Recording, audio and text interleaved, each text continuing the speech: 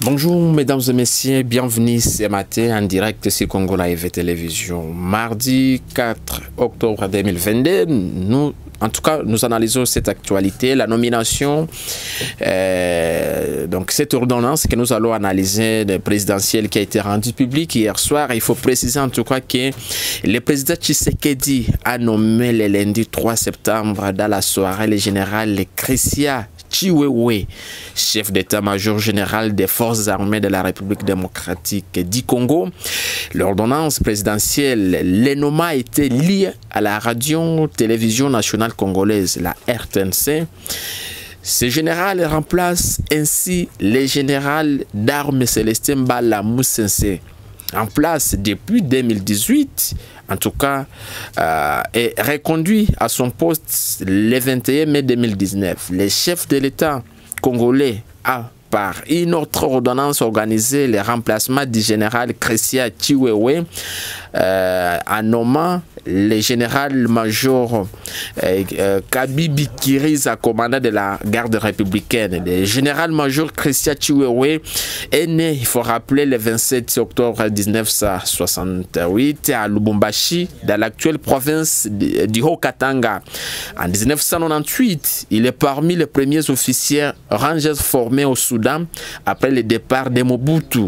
En 1999, à- jusqu'en 2000, il suit le cours des commandements d'état-major Moura. Là, nous sommes à Likasi. Il participe au cours des commandements de brigade au Centre supérieur militaire à Kinshasa entre 2003 et 2004. Formé à l'antiterrorisme par des Israéliens en Angola, Tricia euh, Chiwewe fera également ses classes au sein de la deuxième promotion de Kabila, euh, de Kabila, voilà, du collège des hautes études militaires et stratégie de défense de Kinshasa désigné commandant de la 10e brigade de Moura Kinshasa en 2003. Il est nommé commandant du 13e régiment de la, de la garde républicaine à Lubumbashi. Et puis à 2007 jusqu'à 2011, de retour à Kinshasa, de 2011, il est désigné commandant Sego en charge des opérations et renseignements de la garde républicaine de 2014 à 2020 jusqu'à ce que Tshisekedi euh, euh, l'élève au grade de général-major. C'est ça un peu ce qu'il faut retenir en tout cas du nouveau commandant, du chef d'état-major de, l'armée. Mais, mais Espoir, bonjour d'abord. Je revenais d'abord sur euh, ce qu'il faut retenir du général-major Christia euh, Chiwewe, euh, nommé en tout cas euh, commandant, donc nommé chef d'état-major général des, forces armées de la RDC, donc les FRDC. Bonjour et bonne arrivée. Bonjour, monsieur les journalistes. Félicitations au général aujourd'hui levé au rang de général de brigade, si je ne m'abuse. Et bonjour à tous ceux-là qui aiment le Congo partout où ils sont, que ce soit dans notre diaspora, que ce soit dans les fins fonds de la RDC. Nous les faisons parvenir nos salutations à travers euh, votre caméra, à travers Congo Live Télévision. Merci beaucoup, mesdames et messieurs. Je vous rappelle que c'est un activiste des droits humains. Je l'ai souligné. Euh, Tshisekedi a nommé, donc le chef de l'État a nommé en tout cas le général Christian Chiwewe, chef d'état-major. Et je suis revenu euh, sur euh, son parcours. Mais je vous rappelle qu'il y a eu d'autres nominations dont nous allons en tout cas euh, analyser tout au long de cet entretien. Mais, monsieur, disons espoir. voilà, espoir, voilà. Comment vous avez suivi d'abord euh, il y a cette ordonnance, bien que nous allons lire d'autres nominations. On a vu comme le général Chico qu'on a, qu'on a vécu ici au Nord. On était avec lui d'ailleurs dans les Rutshuru lors des affrontements entre les FARDC et les, les- les M23. On a vu un vaillant combattant. En tout cas, tenir. D'abord, parlez-nous, Christian, déjà remplace le général Célestin- Bala. Un mot quant à ça. Euh, en fait, moi je crois qu'il faut souhaiter bonne chance aux nominés. Et il faut aussi euh, les encourager, puisque l'armée n'est pas. euh, ce n'est pas comme l'école, monsieur le journaliste. L'armée, c'est les poumons quand il s'agit de la matière sécuritaire de la République. Et lorsque quelqu'un a été nommé ou bien a été promis, c'est qu'il a certaines qualités que d'autres n'en ont pas. Mais aussi en suivant les parcours... euh, ex- excusez Ouais. Le parcours du général euh, euh, Chiwewe, euh, c'est quelqu'un qui a le bagage intellectuel et c'est quelqu'un qui maîtrise sa matière, monsieur le journaliste. Nous l'avions vu quand il a été euh, nommé d'abord au niveau de, De la garde républicaine. de la garde républicaine, on suivait son discours. C'est un discours d'unification nationale. C'est que c'est quelqu'un à qui nous pouvons avoir confiance, comme il a déjà confiance du chef, c'est que il représente quelque chose pour l'intérêt national. Nacional. Mais, qu'est-ce qui fait à ce que le, chef de l'État change son appareil sécuritaire? Parce que c'est pas la première fois, on voit en tout cas euh, des changements à la tête de l'armée. Non, c'est tout à fait normal. D'ailleurs, le général euh, Célestin Bala n'avait plus confiance de la population, même au sein de l'armée. Puisque vous avez suivi, lorsque, au Nord Kivu, il y avait une mission de vérification conjointe, nous et les Rwandais.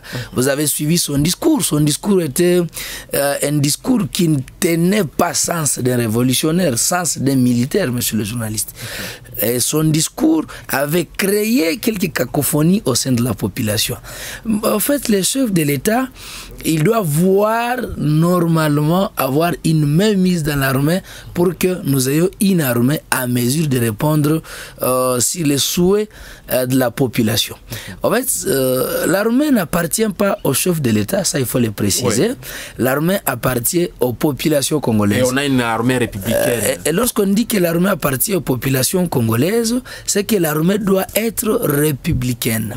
Et c'est comme ça, lorsque le chef de l'État, en tant que tel général, ne répond plus, n'a plus confiance de la population, parce que même si vous ayez une armée à mesure de faire tomber les Mogoma, à mesure d'exploser les Nyiragongo, mais si vous n'avez pas la confiance de la population, vous ne pouvez rien faire, puisque c'est la mais- collaboration civilo-militaire qui doit aider l'armée à avancer. C'est pourquoi le général euh, Célestin Mbala a été mis à l'écart euh, pour mettre quelqu'un qui aura encore Mais la C'est confiance. quelqu'un qui a, qui, qui a travaillé, nous le reconnaissons en tout cas, un vaillant combattant qui a travaillé pour ce pays. On sait même un, chef d'état-major qui s'est bâti. Hein. Effectivement, on ne refuse pas. Vous savez, premièrement, le fait d'abord de renoncer à la vie de l'X pour emboîter l'armée, c'est euh, un pas du patriotisme. Mais même si vous soyez patriote de haut niveau, que vous soyez patriote du sang, mais vous pouvez aussi commettre des erreurs. Et les erreurs monumentales, c'est chercher à tout prix de perdre la confiance de la population. Attention, à cause d'un militaire, la population peut vomir tout le monde, monsieur le journaliste. Et nous, on ne dit pas que le Célestin Bala n'a jamais travaillé. Non, il a, il a toujours travaillé. Il s'est donné, il s'est sacrifié. Attention, toucher l'arme, c'est sacrifier toute ta vie, monsieur le journaliste. C'est mettre ta vie en danger pour sécuriser d'autres Congolais. Mais lorsque vous commettez des erreurs, il faut accepter.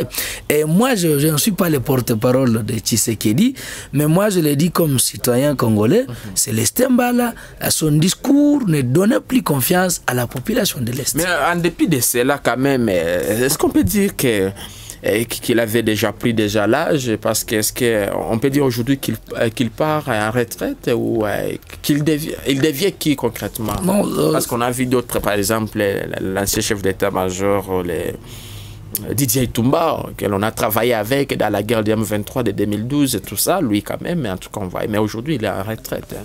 Exactement. Vous savez, euh, euh, comme da- dans l'armée, dans la police, fonction publique, partout ailleurs, il y a l'âge. Si l'âge arrive à tout prix, il faut.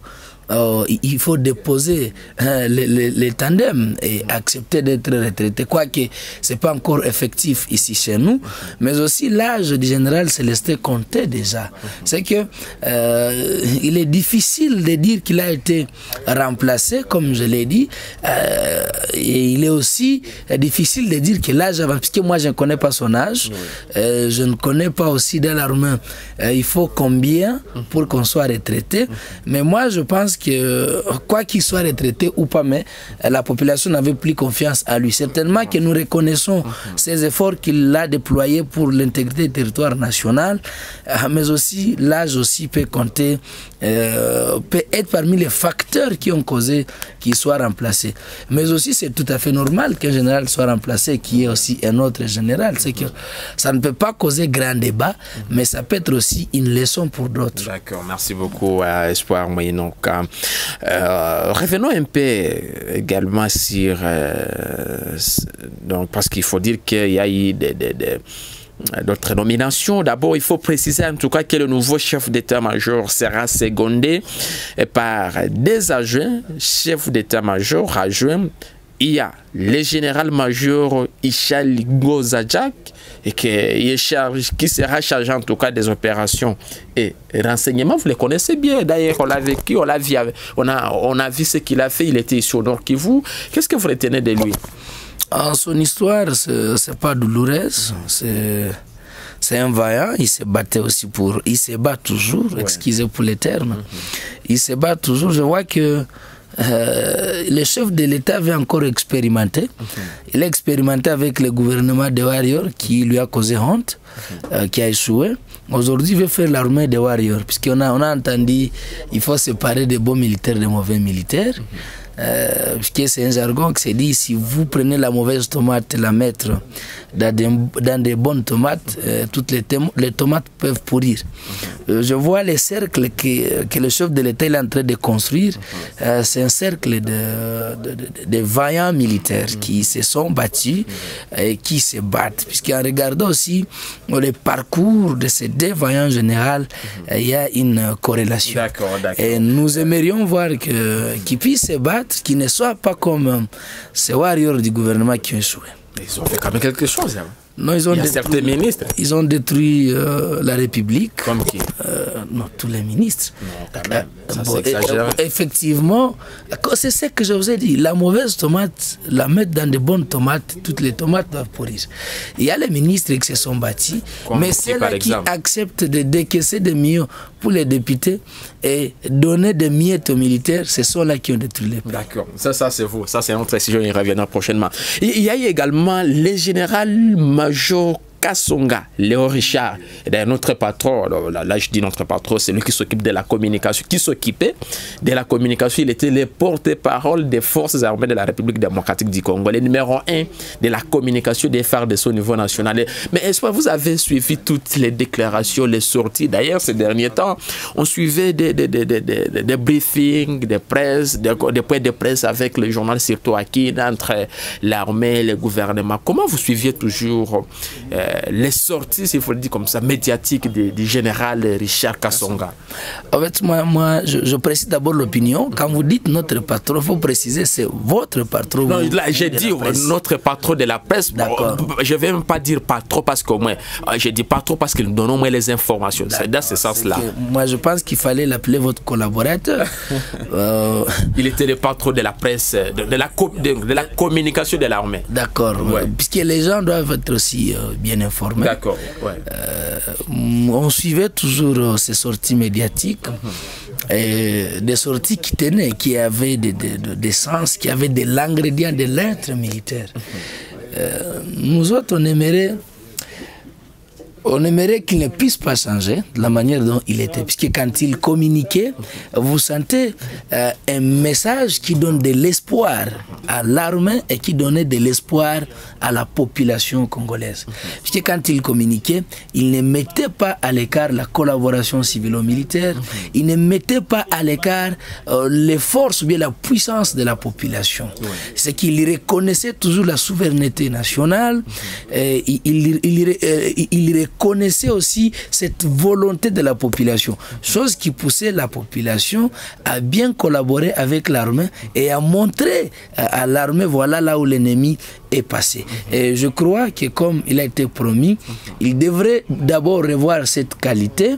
Est-ce que euh, peut il peut encore travailler dans ce sens pour permettre à l'armée toujours de bien collaborer avec la population Il faut préciser. il y a- oui, il y a, il y a d'autres généraux, colonels, lorsqu'ils sont promis, ils oublient que la population reste euh, leur premier chef, puisque la première priorité, c'est de sécuriser la population. Nous, on aimerait que personne ne puisse changer euh, leur casquette, que personne ne puisse changer euh, son, son pouvoir intérieur, qu'il garde toujours cette autonomie de ne pas voir les perso- la, la personne qui leur a promis, mais de voir toujours l'intérêt euh, l'intérêt national et protéger toujours l'intégrité du territoire Il faut préciser que Richard Kassonga s'occupera désormais des questions liées à l'administration et à la logistique. Mais toujours dans cette même ordonnance, il faut dire qu'il y a eu quatre sous-chefs d'état-major au sein de l'État.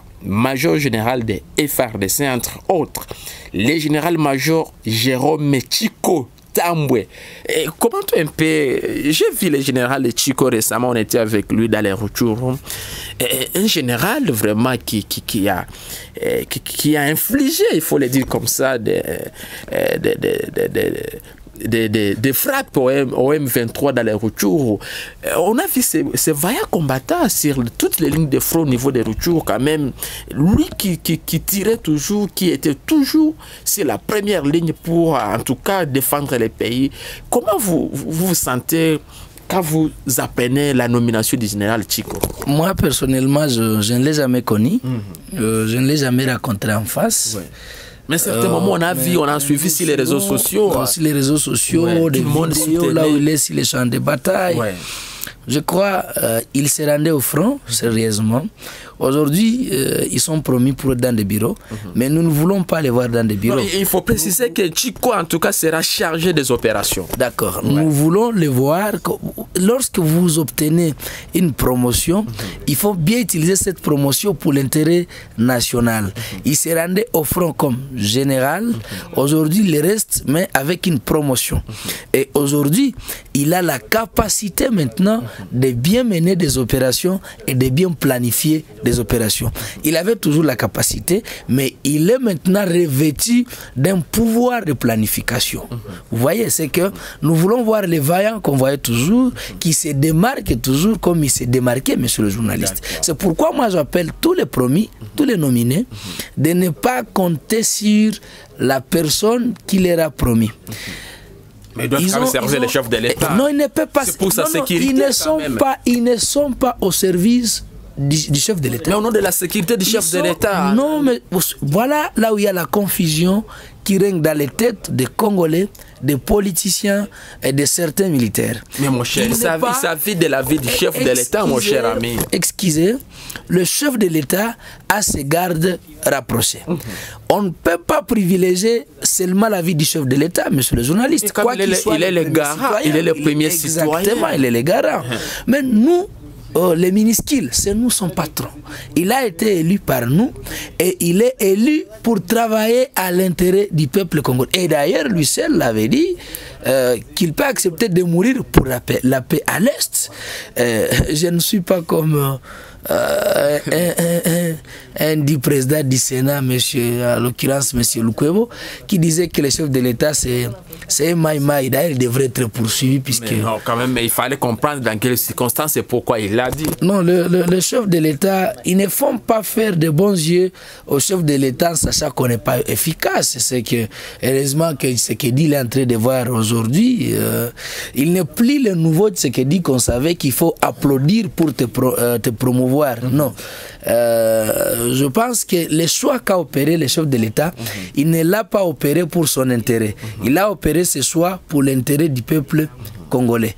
C'est que les- tous les généraux qui ont été promis, ils ont la capacité et nous ne voulons pas que cette capacité soit usée dans des bureaux ou pour l'intérêt du chef de l'État. Nous voulons que oui. ces généraux travaillent comme ils travaillent toujours, mais qu'ils sachent qu'ils ont maintenant un pouvoir, soit de planification comme euh, le général euh, euh, Chico, Chico. Chico, Qui va s'occuper des euh, opérations. qui va s'occuper des opérations. Nous voulons que euh, la planification soit maintenant efficace, puisque avant il les faisait sans pouvoir. Aujourd'hui, il a le pouvoir et nous voulons que ce pouvoir soit à l'intérêt du peuple. Merci beaucoup. Finissons cette ordonnance. Comme je le disais, en tout cas, il y a eu quatre sous-chefs d'état-major au sein de l'état-major général des FRDC. Il y a le général-major Jérôme Metiko, chargé des opérations, le général-major Christian au chargé des renseignements militaires, le général-major Tom- euh, Thomas euh, Kukuabo, chargé de l'administration, le général-major Kukuabo Bora, chargé de la logistique. Mais il faut préciser en tout cas que le président a aussi nommé un nouveau commandant de la garde républicaine, euh, le fraîchement nommé général-major Kabikiriza Ephraim, qui sera secondé du général de brigade Erickson Inyengeli Bakita, commandant à jeu chargé des opérations et des, euh, des renseignements. Il faut préciser que le général de brigade Désiré Moulumba Kab- euh, Kabanangi et les colonels et les colonels Eric Malona Mouila sont respectivement nommés commandants adjoints chargés de l'administration et de la logistique et les chefs d'état-major de la garde républicaine. Donc le président de la République démocratique du Congo a aussi nommé le général-major Gilles Banza Mouilambwe chef adjoint de la maison militaire en charge des opérations et du renseignement. Général-major Mbanza Mouilambwe Gilles est, disons, a été bien sûr élevé au grade de nombreux officiers généraux. Il faut dire que pour ces généraux majors, il y a Chico, Jérôme, il y a, donc je, je suis revenu sur euh, tous ces noms-là. Alors, aurait-il quoi dans ces changements concrètement, Monsieur Espoir, pour finir euh, avec cet entretien? En fait, je- je- je- j'aimerais d'abord préciser, avant de, de donner mon point de vue, il y a celle, puisque euh, cette nomination, bien ces changements a provoqué beaucoup de, euh, euh, beaucoup de mots. C'est là qui ont, qui, qui ont dit non, voilà, nous on a été oubliés dans l'armée, d'autres qui disent non. Oui, il y a des mécontents déjà. et, et nous, l'armée nous appartient maintenant. Moi, il faut, il est-ce qu'il nous faut prendre des mégaphones pour dire aux gens que l'armée est républicaine? L'armée n'a pas de casquette communautaire. On est nommé militaire, c'est pour l'intérêt du peuple congolais en général. C'est que celui de ta communauté, celui qui n'est pas ta communauté, il doit être servi par toi, militaire, par toi, policier. Certainement qu'il y a eu beaucoup... euh, des modifications dans l'armée. Euh, il y a eu, euh, comme les gens disaient, euh, que, que nous voulons l'armée euh, qui appartiendra aux Congolais, qui est composée des Congolais. Euh, on ne peut pas changer à 100% l'armée. Euh, à- à- on ne peut pas le changer d'un clé, euh, Dans d'œil. Voilà. Mais euh, petit à petit, on va, on, va, euh, on va construire une armée efficace et puissante. Mais aussi, on aimerait euh, qu'il y ait changement aussi dans leur logistique. On aimerait qu'il y ait changement. la police, hein. de- on aimerait qu'il y ait aussi changement du point de vue social des militaires. Nous aimerions que ces généraux qui sont promis aujourd'hui puissent plaider devant les chefs de l'État, puisqu'il faut préciser qu'ils sont, ils sont parmi les généraux qui chuchotent dans l'oreille du chef de l'État.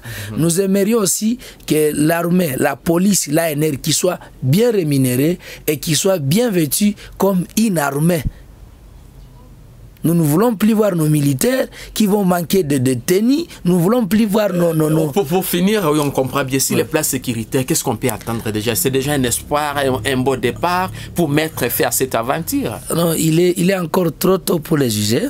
Mais euh, ceux-là qui ont été nominés, ils ne sont pas euh, des, des généraux de dernière pluie. Ils sont des généraux bien qualifiés. Euh, ils sont des généraux qui ont un jour opéré au Nord Kivu et on a vu ce qu'ils avaient fait au Nord Kivu. Comme résultat. Comme résultat. C'est qu'il est trop tôt de les juger puisque la personne peut changer à tout moment. Mais nous attendons voir comment est-ce qu'ils vont exercer leurs fonctions. Et nous reviendrons ici devant la caméra pour, pour juger Mais maintenant. pour certains, déjà, si les réseaux sociaux, on les voit, que c'est la fête M23 arrive. Euh, ça peut être possible. Euh, comme je le disais, la guerre doit se battre sur plusieurs fronts, sur le front diplomatique et sur le front militaire. Mais nous, on aimerait euh, préconiser le front militaire.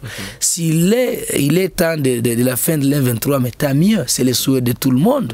Euh, nous voulons voir vraiment la fin de, de cette histoire. De, Merci beaucoup, d'M23. Moïnoka. Nous sommes pratiquement à la fin de cet entretien. On sait que tu parles votre numéro de téléphone, mais j'espère que vous allez aussi vous faire relais dans l'armée. Il faut suivre quand même le chef- l'appel du chef de l'État. hein. Hmm, c'est pas l'appel du chef de l'État seul, c'est euh, l'appel de la mer. Et la mer, euh, c'est la République démocratique du Congo. Mais vous allez vous- la mer est violée et on doit à tout prix sauver la mer. Et la mer, c'est ce Congo, c'est notre héritage commun. Euh, nous, tous, nous ne pouvons pas faire l'armée, effectivement, mais nous, si, L'armée a besoin de vous si surtout. nous hein. les sentons que c'est parmi nos vocations, mais nous allons y aller.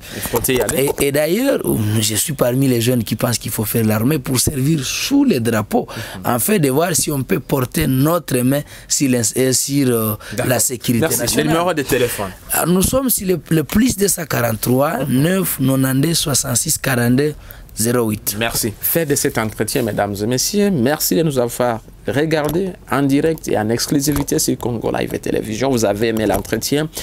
N'hésitez pas, lâchez vos commentaires, abonnez-vous. Je vous fixe rendez-vous dans les heures qui suivent pour un nouveau numéro. Nous vous disons bye bye.